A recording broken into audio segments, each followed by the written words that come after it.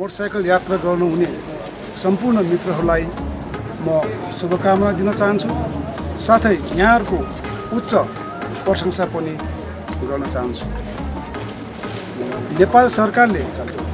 नेपाल भ्रमण वर्ष दुई हजार बिस घोषणा गरेर पनि बिस लाख पर्यटक भित्राउने लक्ष्यका साथ अगाडि बढेको सन्दर्भमा यो मोटरसाइकल अभियानले आन्तरिक तथा बाह्य पर्यटकलाई आकर्षण गर्नेछ जसको कारणले गर्दाखेरि उक्त भ्रमण वर्ष सफल बनाउनुको निम्ति पनि ठुलो टेवा मिल्नेछ.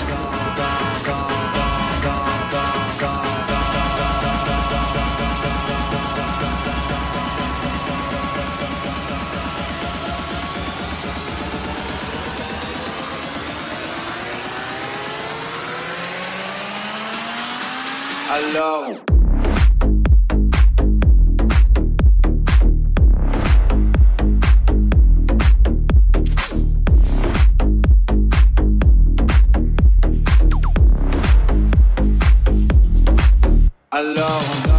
qui dit études, qui travaille, qui dit taf, te dis les thunes, qui dit argent, dit dépense, qui dit crédit, dit créance, qui dit dette, te dit huissier, qui dit assis dans la merde, qui dit amour, dit les gosses, dit toujours et dit divorce, qui dit proche, te dit deuil, car les problèmes ne viennent pas seuls, qui dit crise, te dit monde, et dit famine, dit tiers-monde, qui dit fatigue, dit réveil, encore sourd de la veille,